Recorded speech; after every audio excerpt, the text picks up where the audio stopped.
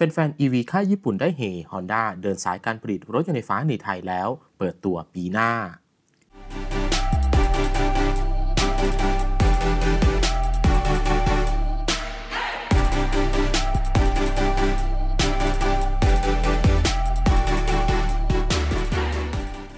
หลังจากที่มีการวิ่งทดสอบกันให้เห็นในประเทศไทยมาระยะหนึ่งสำหรับรถยนต์ไฟฟ้า 100%จาก Honda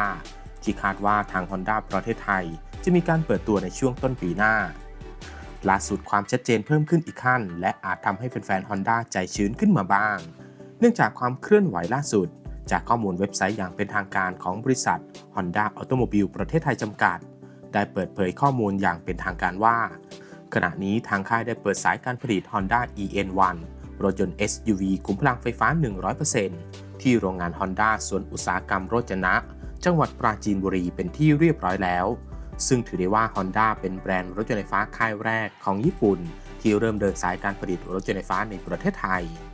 และด้วยการเป็นค่ายแรกที่เข้าสู่กระบวนการผลิตรถยนต์ไฟฟ้าค่ายแรกในประเทศไทย จึงเป็นหนึ่งสิ่งที่จะช่วยสร้างความเชื่อมั่นว่า Honda จริงจังกับตลาดรถยนต์ไฟฟ้าในประเทศไทย ทั้งที่เป็นรถยนต์น้ำมันและรถยนต์ไฟฟ้า ที่เป็นตลาดรถยนต์ในอนาคต ซึ่งมีการเติบโตอย่างต่อเนื่อง โดย Honda ได้เตรียมเดินหน้าสู่เป้าหมาย ในปี พศ 2573 ในการผลิตและจำหน่ายรถยนต์ที่ขับเคลื่อนด้วยพลังงานไฟฟ้า 100%ด้วยสัดส่วนไม่น้อยกว่า 2 ล้านคันทั่วโลกสำหรับ Honda EN1 หรือ Honda HR-V เวอร์ชันไฟฟ้า 100%ซึ่งเป็นรถยนต์ไฟฟ้าที่เดินสายการผลิตในไทยนั้น ตัวรถมาพร้อมกับการพัฒนาบนแพลตฟอร์ม EN Architecture F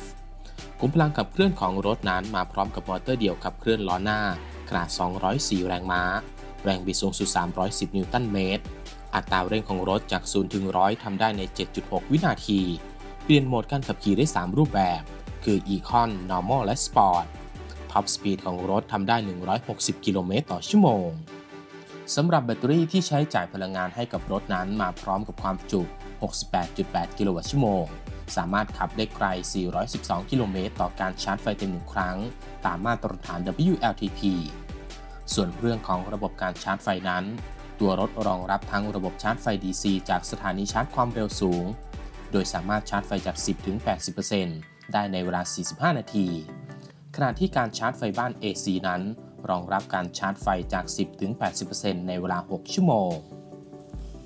ด้านการออกแบบของรถนั้นภาพรวมของ Honda EN1 จะใช้ดีไซน์เดียวกันกับ Honda HR-V แต่มีการปรับเปลี่ยนรายละเอียดในบางจุด เพื่อให้เหมาะสมกับการเป็นรถยนต์ไฟฟ้า กระจังหน้าของรถนั้นเปลี่ยนมาใช้เป็นแบบปิดทึบ ตำแหน่งโลโก้ H Mark ด้านหน้านั้นเป็นตำแหน่งสำหรับช่องชาร์จไฟ ด้านหลังเปลี่ยนจากโลโก้ H Mark แบบเดิม เป็นตัวอักษรภาษาอังกฤษคำว่า Honda ล้ออัลลอยของรถนั้นเป็นแม็กลายใหม่ขนาด 18 นิ้ว และด้วยการเป็นรถยนต์ไฟฟ้า 100%ตำแหน่งใต้ท้องรถนั้น จึงมาพร้อมกับแบตเตอรี่สำหรับขับเคลื่อนตัวรถ พร้อมติดตั้งการกันกระแทกสำหรับข้อมูลอย่างเป็นทางการของ Honda EN1 เวอร์ชันที่จะจำหน่ายในไทยนั้น ทางค่ายจะมีการเปิดเผยให้ได้ทราบกันอีกครั้งในช่วงไตรมาสแรกของปีหน้า ซึ่งเราก็ต้องมาติดตามกันต่อว่ารถยนต์ไฟฟ้า 100%จาก Honda ที่จะส่งลุยตลาดเมืองไทยนั้น จะมาพร้อมกับราคาเท่าไหร่ สมรรถนะของรถจะเป็นอย่างไร